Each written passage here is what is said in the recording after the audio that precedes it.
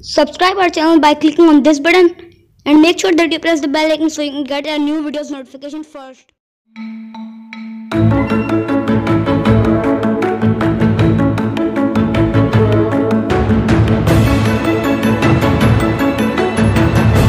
Assalamu alaikum friends, I am Mohammed Azlan and you are watching Azlan Tech YouTube channel.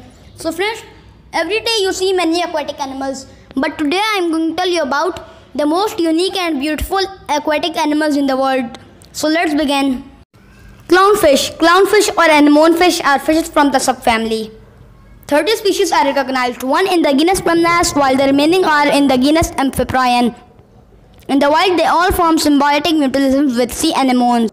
Clownfish lives up to 3 till 5 years and it is a very beautiful and peaceful fish. Hawksbill sea turtle. The hawksbill sea turtle is a critically endangered sea turtle belonging to the family Cheloniidae. It is the only extant species in the genus Eretmochelys. The species has a worldwide distribution with Atlantic and Indo-Pacific subspecies. Hawksbill sea turtles are endangered because of their beautiful shells. They were hunted for hundreds of years. Starry puffer. Starry puffer is also known as the stellate puffer or starry toadfish.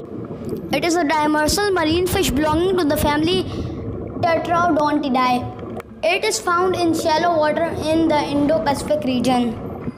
You can see how large it is and it hides like this so it can catch its prey. Tiger snake eel. The tiger snake eel is a snake eel from the Indo-Pacific. It is occasionally encountered in the aquarium trade. It grows to a length of 1 meter. Tiger snake eels have total 10 species and they are very poisonous. You can see this one's colors like the sand. Chrysaora fuscescens. The Pacific sea nettle Chrysaora fuscescens or West Coast sea nettle is common planktonic scyphozoan that lives in the eastern Pacific Ocean from Canada to Mexico. Sea nettles have a distinctive golden brown bell with a reddish tint and they can leave different types of color liquids. Yellowtail snapper.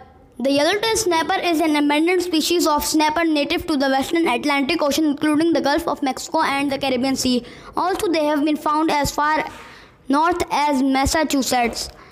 Their normal range is along Florida south to the West Indies and Brazil.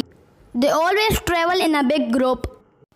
Amphioctopus marginatus. Amphioctopus marginatus, also known as the coconut octopus and winged octopus, is a medium-sized cephalopod belonging to the genus Amphioctopus.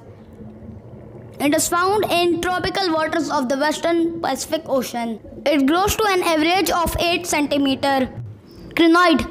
Crinoids are marine animals that look like feathers that make up the class Crinoidea, one of the classes of the phylum Echinodermata, which also includes the starfish, brittle stars, sea urchins, and sea cucumber. And if its feather get damaged, so it regenerates it. It hides like this so the predator thinks that it is a plant and can't hunt it. Okay guys, so follow me on Facebook on Azlan 33 official. I hope that you like this video. So let's meet in the next video.